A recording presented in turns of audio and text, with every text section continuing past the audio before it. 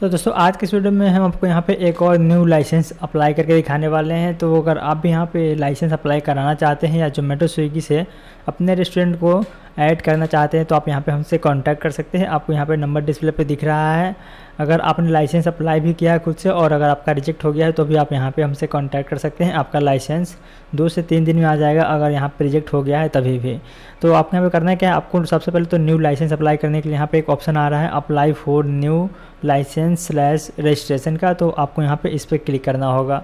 और आप यहाँ पे जैसे इस पर क्लिक करेंगे, उसके बाद आपके सामने यहाँ पे तीन ऑप्शन आ जाता है जहाँ पे आपको रेलवे स्टेशन और एयरपोर्ट और जनरल तीन ऑप्शन देखने को मिलेगा।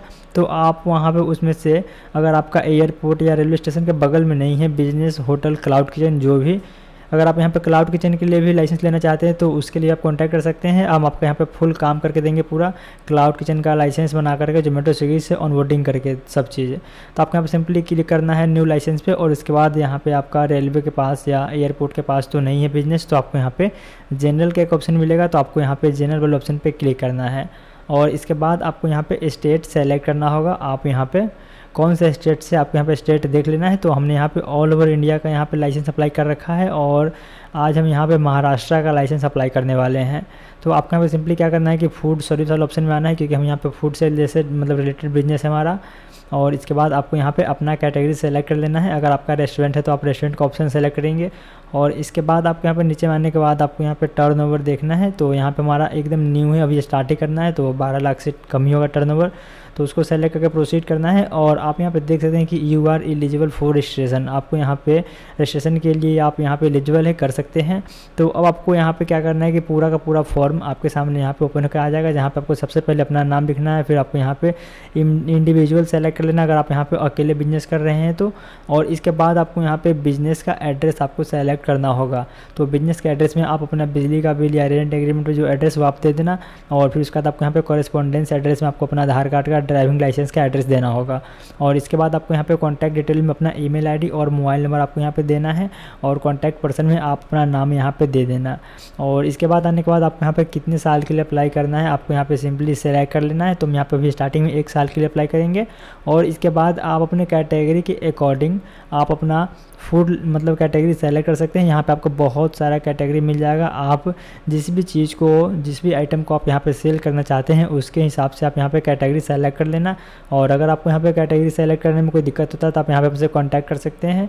तो हम यहाँ पे रेस्टोरेंट का कैटेगरी मतलब जो हम क्लाउड किचन के लिए लाइसेंस अप्लाई कर रहे हैं तो इसका हम यहाँ पे कैटेगरी देख लेते हैं। और जो जो यहाँ पे हमारे क्लाउड किचन के हिसाब से सही हम यहाँ पे उसको सेलेक्ट कर लेंगे। और इसके बाद आपको यहाँ पे नीचे आना है, और नीचे आने के बाद आपको यहाँ पे और भी ऑप्शन मिल जाता है तो अगर आपका यहाँ पे प्राइवेट है वाटर सप्लाई तो आप यहाँ पे इसको प्राइवेट कर दे।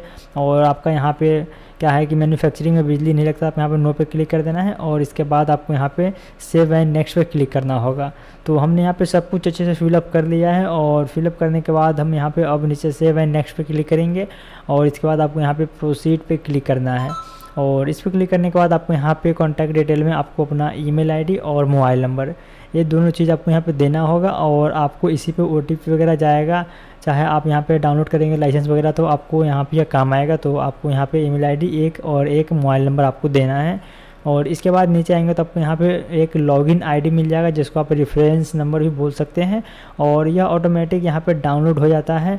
तो पहले हम यहाँ पे इसको सेल्फ वाला सेलेक्ट कर लेते हैं और इसके बाद आपको यहाँ पे लॉगिन आईडी मिल गया है और अब आपको यहाँ पे एक पासवर्ड क्रिएट करना होगा तो आप यहाँ पे अच्छा सा पासवर्ड देख लेना जो आपको याद हो उसको आपको यहाँ पे रख लेना है और इसके बाद आपको यहाँ पे पासवर्ड सेट करने के बाद आपको यहाँ पे एक कैप्चा का ऑप्शन मिलेगा तो आपको यहाँ पे कैप्चा को फिलअप करना होगा और कैप्चा फिलअप करने के बाद नीचे में एक सबमिट का ऑप्शन है तो आपको यहाँ पर सिंपली सबमिट पर क्लिक करना है और सबमिट पर क्लिक करने के बाद आपका यहाँ पर सक्सेसफुली अकाउंट बन जाएगा आपका यहाँ पर साइनअप हो जाएगा और साइनअप होने के बाद आपको यहाँ पे दूसरे स्टेप में यहाँ पे डॉक्यूमेंट्स वगैरह आपको अपलोड करना होगा। और आप यहाँ पे देख सकते हैं कि आप जब साइनअप करेंगे तो आपको यहाँ पे एक ओटीपी जाएगा। तो आपने जो मोबाइल नंबर दे रखा है उस पर और ईमेल आईडी दोनों पे सेम ओटीपी जाएगा। आप कहीं से भी ओ दे करके आप यहाँ पे फिलअप कर दें और इसके बाद आप सबमिट पे क्लिक करेंगे तो आपके यहाँ पे साइनअप कंप्लीट हो जाएगा। और इसके बाद आपको यहाँ पे सबसे पहले डॉक्यूमेंट वगैरह अपलोड करना होगा।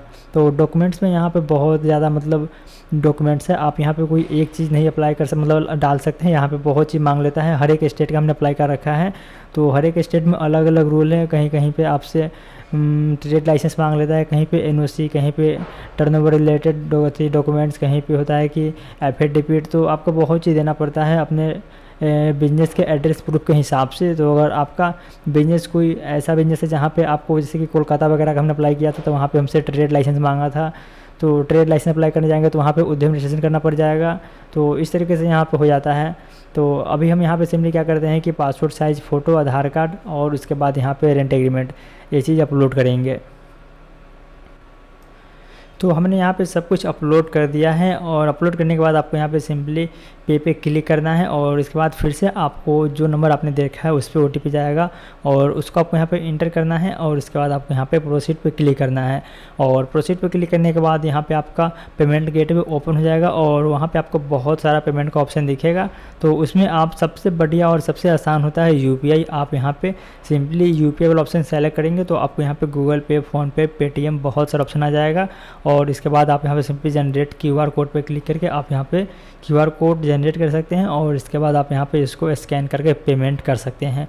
और यहाँ पे आपका पेमेंट बहुत ही जल्दी कंप्लीट हो जाएगा और जैसे ही पेमेंट आपका कंप्लीट होगा, वैसे ही आपको यहाँ पे एक इनवाइस मिल जाएगा आपको और उसमें आपको रेफरेंस नंबर वगैरह सब कुछ लिखा रहेगा और उस रेफरेंस नंबर की मदद से आप चेक कर सकते हैं ट्रैक कर सकते हैं कि आपका अप्लीकेशन भी कहाँ तक पहुँचा है, आपका लाइसेंस आपको इशू हुआ है या फिर आपका लाइसेंस रिजेक्ट हो गया है, आपको सब कुछ मिल जाएगा।